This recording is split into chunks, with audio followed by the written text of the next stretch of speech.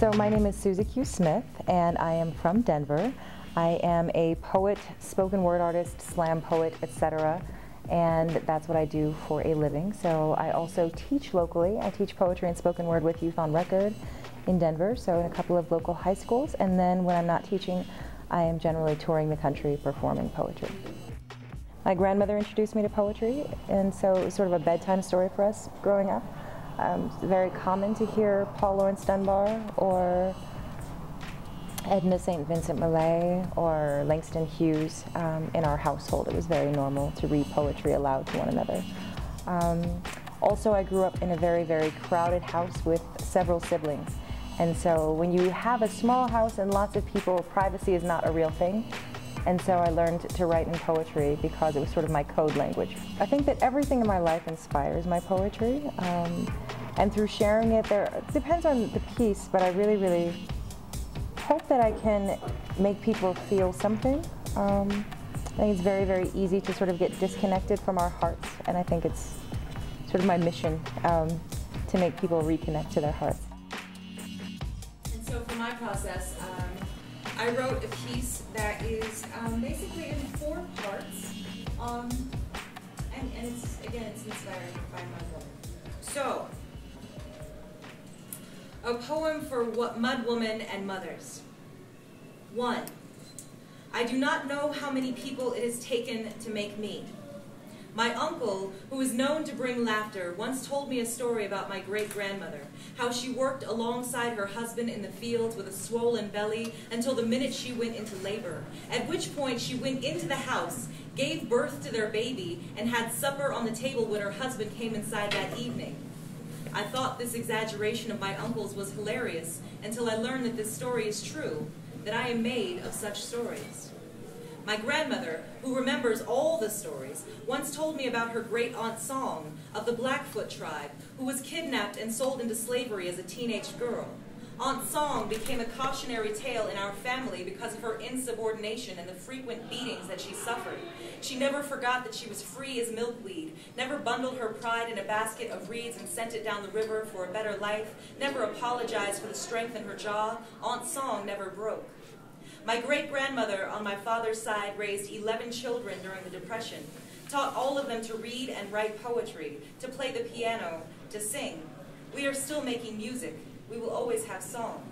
My great-great-grandmother on my mother's side lost her husband suddenly to a fever when their son was still new in the world. She strapped her baby to her hip, took to the cotton fields in Tennessee until her weathered hands worked their way to pull potatoes from a cold Colorado welcome. We have called it home ever since. My grandmother on my mother's side, a church-going woman whose mother I hear used to read tea leaves in the parlor, raised seven children with needle and thread with wooden spoons and batter, calling the corners and stitching them together, folding the rhubarb in with sugar. We are always making something beautiful out of what we can grow. My grandmother on my father's side has taught me nearly everything I know.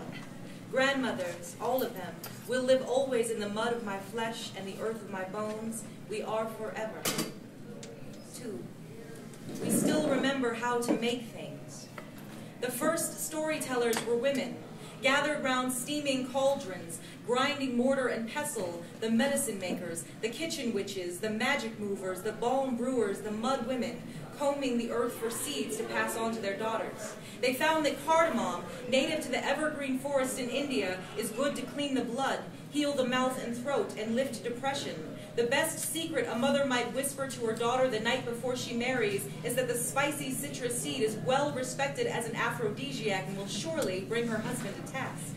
The mud women know all about cinnamon, popular since ancient Egypt for treating coughs and aches, and while our ancestors might not have called it antimicrobial, they might have known a good medicine when they smelled it. If you've ever sipped on tea made from ginger root, you know it will save your life in winter.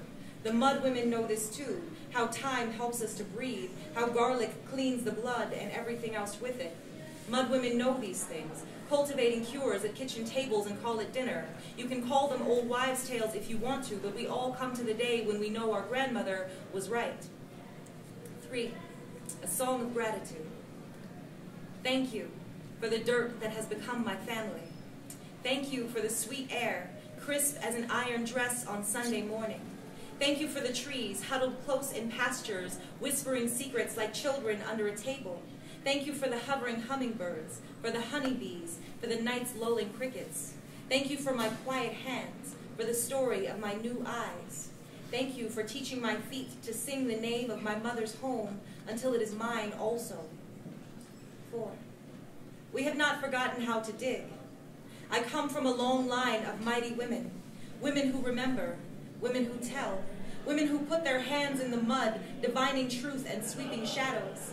I am still learning from my ancestors. Listen when they whisper over a pot of black-eyed peas, drop a little peanut butter in a baby. Feel them stir in my cells and ask for water, for lemon and cayenne. Taught me that coconut oil is as good for the hair as it is for the elbows and door hinges. Know that it is they who taught me that a little apple cider vinegar and honey cures all but broken bones and hurt feelings, but they got something for all that too.